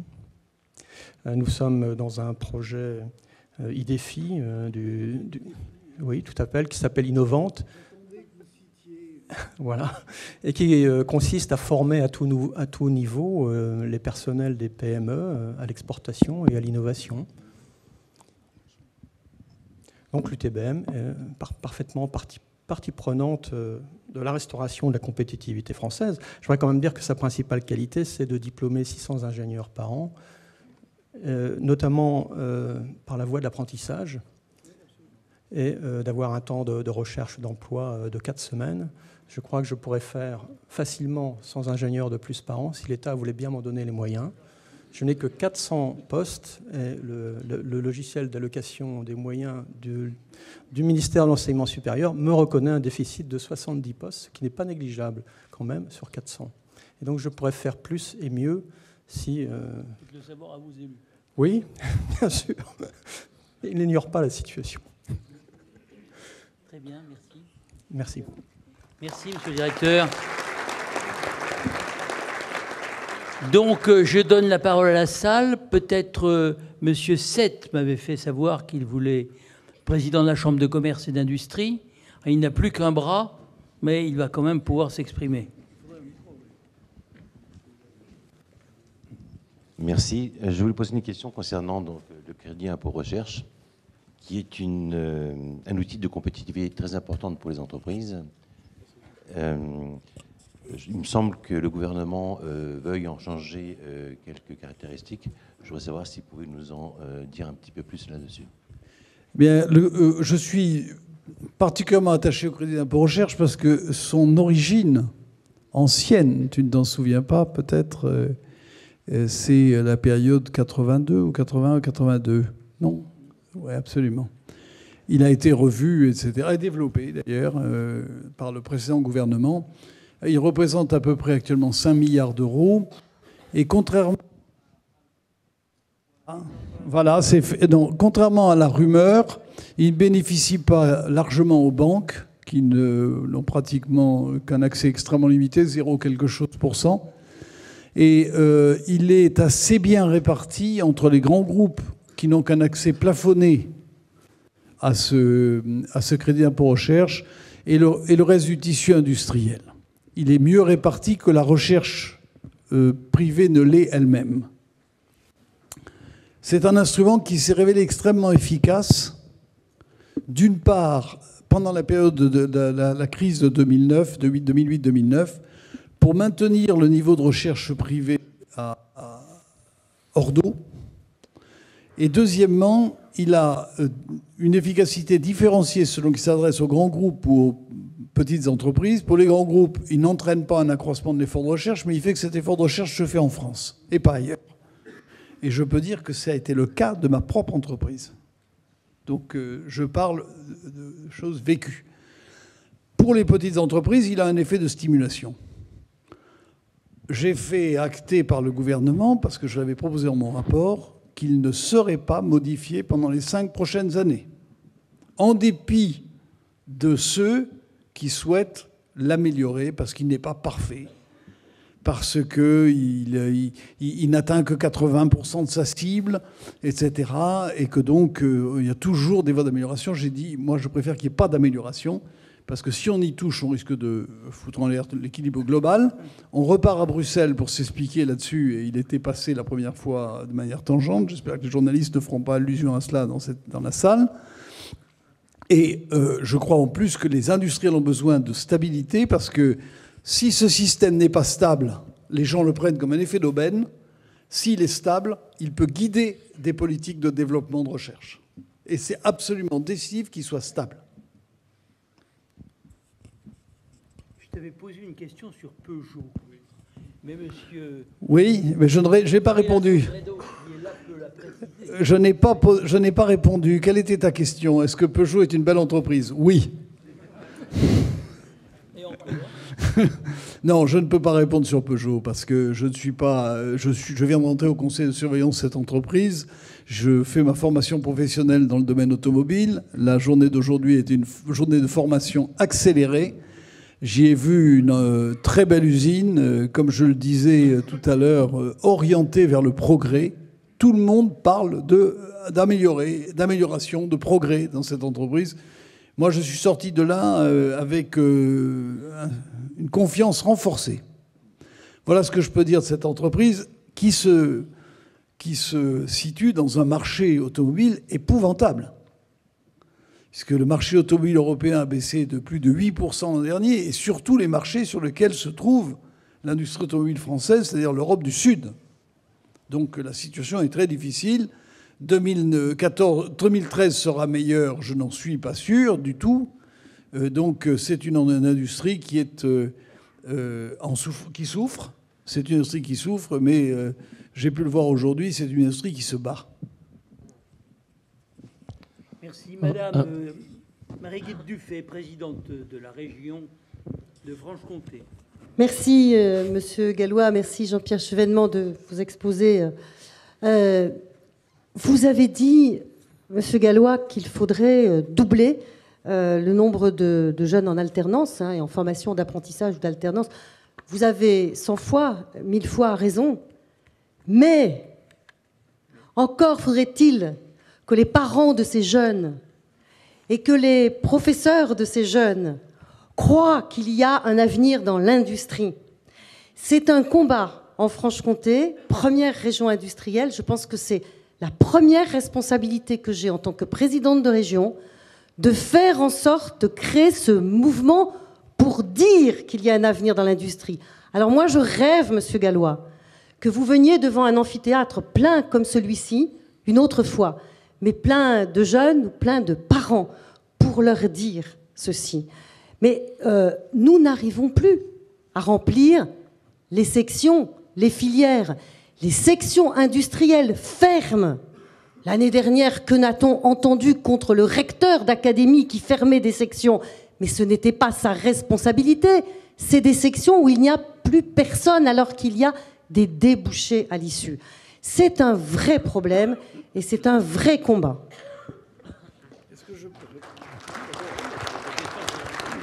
Bien. Madame, je, vous soulevez un, un problème euh, absolument décisif. Est-ce que les Français croient ou non que l'industrie, c'est quelque chose d'important et c'est quelque chose de passionnant? La réponse est actuellement probablement pas extrêmement positive. Pourquoi? Parce que, d'abord, il faut le savoir, l'industrie n'est pas dans les gènes de la France. La France est un pays agricole. Sa culture, ses valeurs, euh, sont euh, ce qui fait son histoire, c'est beaucoup plus l'agriculture que l'industrie. Il y a eu des périodes, des parenthèses, où la France a développé son industrie, mais il n'y a pas, comme en Allemagne, un véritable investissement collectif euh, du pays vers l'industrie, derrière l'industrie. Et c'est cela qu'il faut. Il faut maintenant, euh, il faut qu'il y ait beaucoup de pèlerins qui se promènent, de prédicateurs, pour aller expliquer à quel point l'industrie est importante pour le pays à quel point les métiers de l'industrie sont des métiers passionnants, à quel point aussi il faudrait que l'appareil de formation soit euh, peut-être plus en lien avec l'industrie pour permettre que certaines sections ferment, peut-être parce qu'il y a moins d'attraction vers l'industrie, mais aussi parfois parce qu'elles forment à des métiers qui n'existent plus ou qui n'ont plus euh, d'importance, mais il se trouve que le corps enseignant, lui, il a été formé sur ces métiers et qu'il est pas, il, a beaucoup de difficultés à basculer sur de nouveaux métiers. Nous avons un véritable problème de corps enseignant dans la formation technique et professionnelle, parce que ce, corps enseignant, il a été formé il y a 15, 20 ans, et donc il représente les besoins, les industries de cette, et, les, compétences de cette période-là. Et nous avons un, problème. Je, ne veux pas du tout accabler ce corps enseignant. Je pense qu'il faut le former, il faut le, le mobiliser là-dessus. Un dernier sujet, puisque euh, j'en profite, il faut aussi qu'on croit au progrès technique. Dans un pays où on n'arrête pas de vous répéter que le progrès technique, c'est dangereux, que ça crée euh, des risques, les nanotechnologies, les biotechnologies, le nucléaire, les OGM, etc. Chaque fois qu'il y a une avancée... Oui, le, principe de précaution est en train euh, de, de, devient un principe de refus du risque. Et comme je l'ai dit dans mon rapport, et je l'ai répété ce matin dans le Républicain, le principal risque qu'on court, c'est le déclin. Si on n'est pas capable de se saisir du progrès technique et d'en faire un, formidable atout, parce que les potentialités du progrès technique sont énormes, et on voit bien ce qu'il nous a apporté, ne serait-ce que l'allongement de la durée de vie. Et, quand on va dans les pays émergents que, citait Jean-Pierre, euh, il ne faut pas croire qu'ils ne s'intéressent pas aux problèmes d'environnement. Ils, ont des politiques d'environnement, mais ils croient au progrès technique. Ils croient que le progrès technique va leur apporter des choses. Eh bien, l'industrie, elle est quand même fondée sur l'idée que le progrès technique, c'est du positif. Il faut évidemment faire attention, mais c'est du positif. C'est absolument essentiel. Retrouver confiance et optimisme dans la science. Et après ça, je pense qu'on y ramènera les jeunes vers l'industrie. Il faut aussi, évidemment, euh, plutôt pour l'apprentissage, mettre des conditions qui fassent que les jeunes aient envie d'aller vers l'apprentissage. Il faut leur assurer les ressources minimum. Il est extraordinairement difficile pour un jeune de trouver une entreprise où il peut euh, faire son apprentissage.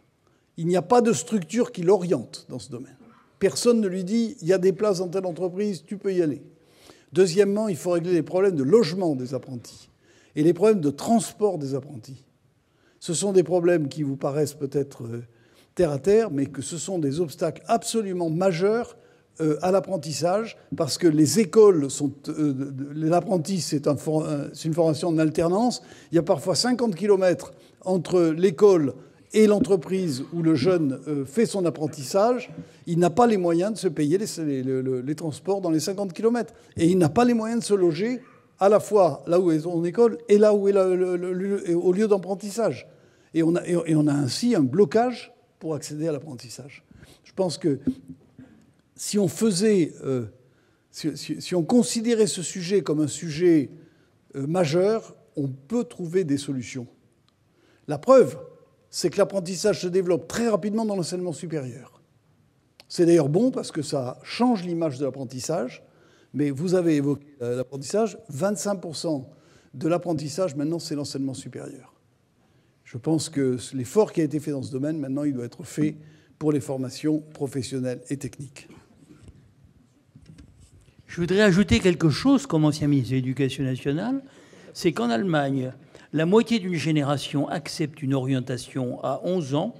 Ils rentrent dans des Realschulen, alors que les autres choisissent la voie du gymnasium, c'est-à-dire euh, du collège et du lycée, euh, la voie que nous connaissons en France.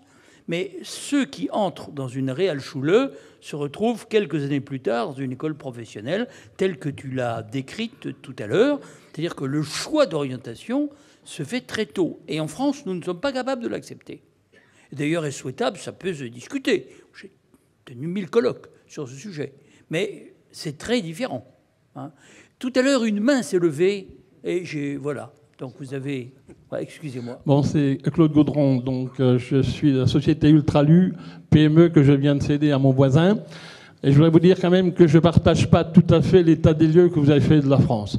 Moi, je citerai cinq points très courts. Premièrement, 2012, tous les pays européens, je dis bien tous les pays européens, ont augmenté leurs exportations, sauf la France.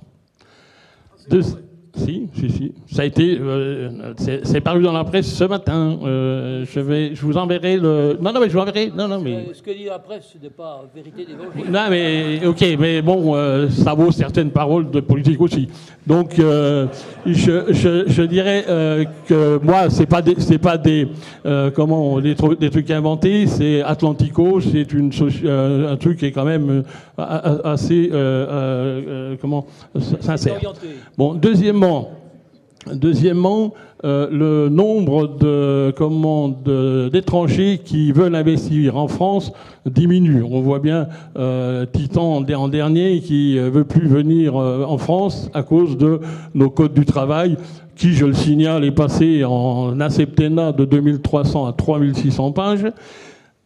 ensuite, ce qui est, quand même aussi très grave, mais pas, je dirais, pour un peu dans mon cas, euh, je resterai en France parce que j'ai pas vendu mon entreprise assez cher, mais euh, énormément d'entreprises, de, chefs d'entreprise fuient la France avec un gros capital euh, pour aller faire travailler d'autres pays. Et le plus grave de tous, c'est pas ça, c'est que maintenant même les jeunes entreprises, les jeunes gens qui veulent se lancer dans l'entrepreneuriat préfèrent aller à l'étranger que de le faire en France.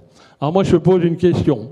Est-ce qu'on va continuer à mettre la tête dans le sable et puis chanter tous les matins tout va très bien, Madame la Marquise Ou est-ce qu'on va enfin prendre les mesures qu'il faut faire?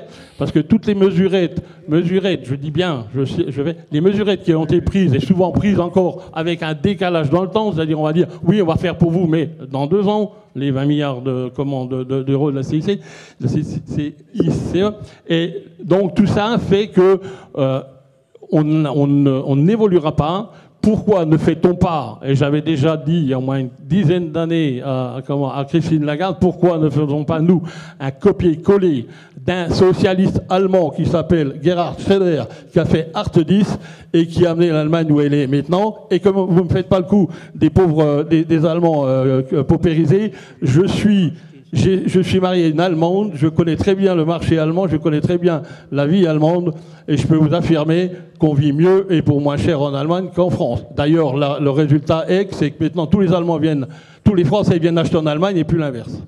Merci. merci, c'est la dernière réponse, parce que ensuite. Bon, euh, ça me permettra de répondre sur un certain nombre de sujets. D'abord sur le 6C. Euh, à partir du moment où vous êtes une entreprise de moins, je crois, de, de, 1500 ou 2000 personnes, vous pouvez bénéficier du préfinancement du CIC, du crédit d'impôt, en 2013. Je vous le précise pour que vous puissiez en bénéficier. Deuxièmement, le Code du travail. Le Code du travail. Euh, je ne méconnais pas son caractère épais. Le principal problème n'est pas là. Le principal problème, il est dans l'incertitude juridique liée aux décisions qui sont prises parce que les voies de recours euh, jusqu'à la chambre sociale de la Cour de cassation euh, font que euh, la Cour de cassation s'est érigée en quasiment législateur dans ce domaine. Et donc, créant une incertitude, puisque vous prenez une décision qui vous paraît conforme à la loi, en matière de réduction d'emploi, par exemple, je ne vous souhaite pas de prendre ce type de décision, mais en matière de réduction d'emploi, s'il y a un recours, deux ou trois ans après, la Chambre syndicale, la Cour de cassation peut vous indiquer que euh, vous devez euh, remettre en cause tout ce que vous avez fait. Je pense que l'incertitude juridique est aussi mauvaise pour les entreprises que pour les salariés concernés. Et l'accord du 11 janvier permet de raccourcir les délais, de réduire le risque d'accord juridique. Je pense que c'est un point positif. Euh, je vous signale que je ne partage pas votre avis sur les exportations. Les parts de marché de la France sont euh, désormais sont stabilisés depuis un an et demi à l'exportation. Euh, vous voyez que je suis transcourant, puisqu'il y a un an et demi, vous voyez que j'enjambe les, périodes, la période électorale. C'est vrai qu'il y a un certain nombre de chefs d'entreprise, je l'entends dire tout au moins, qui sont en train de s'installer à l'étranger. Je pense que, d'abord, ils doivent réfléchir ils ont, été, euh, ils ont bénéficié euh, euh, pendant des années du fait d'être français, des services publics financés par les Français, et peut-être qu'une certaine dette à l'égard de la France pourrait les, intéresser. Deuxièmement, je crois que je, n'exclus pas que la présentation du paquet fiscal de 2012, 2013 et jouer un rôle dans ce sens. Il faut voir l'énorme effort fiscal qui a été demandé au pays. L'énorme effort fiscal qui a été demandé au pays, à tout le pays, et pas uniquement aux chefs d'entreprise. Et je crois qu'il était normal qu'on le demande aussi aux chefs d'entreprise. Il y a peut-être une explication. Il aurait fallu peut-être leur dire que c'était un effort patriotique qu'on leur demandait pour une durée de temps limitée. Peut-être. Je, le suggère. Mais euh, je crois aussi qu'on a droit de faire appel au patriotisme des gens dans les périodes extrêmement difficiles que nous traversons. Moi, je vois, euh, les laboratoires français accueillent actuellement des chercheurs espagnols et italiens. Parce qu'en Espagne et en Italie, la recherche n'a plus les crédits qu'elle devait avoir. Eh bien, je, ne souhaite pas que nous soyons dans la situation euh, où les Français s'exportent, comme sont en train de le faire une partie des élites portugaises qui partent au Brésil, et pour cela, je crois qu'il faut que nous soyons capables de recréer de la croissance en France, c'est-à-dire en Europe. Et là, le seul locomotive possible de cette croissance en Europe, c'est l'Allemagne. L'Allemagne, les pays déficitaires ont des efforts à faire, les pays excédentaires ont aussi à faire des efforts. Il n'est pas normal qu'un pays ait 188 milliards d'excédents commercial, des, des finances publiques à l'équilibre et une croissance nulle. Ce pays a une capacité de croissance qu'il n'utilise pas. Et nous devons convaincre les Allemands d'utiliser leur capacité de croissance pour tirer l'ensemble de notre économie. Voilà ce que je voulais vous dire sur euh, ces différents sujets. Euh, euh, mais ne tombez pas, s'il vous plaît, dans le défaitisme et le pessimisme absolu. Moi aussi, je suis retraité. Je suis comme vous, je suis retraité. Voilà, ben écoutez, vous faites bien de vous battre pour la génération qui suit, mais je pense aussi qu'il faut le faire avec un certain optimisme. Nous sommes un pays formidable. Et comme disait le général de Gaulle, excuse-moi Jean-Pierre de citer le général de Gaulle, hein, finissant, la France qui va de déclin en renouveau. qui va de déclin, oui, je sais, je sais, de déclin en renouveau. Vous savez, euh, nous sommes un pays qui en a vu d'autres et qui passera à travers cela si euh, il est capable de retrouver euh, confiance et un certain optimisme. Merci.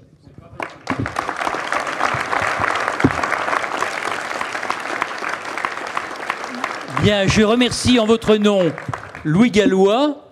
Et je vous remercie tous également de votre assistance nombreuse et attentive. Et je termine par euh, le vœu qu'a fait Louis Gallois. Que vive la France!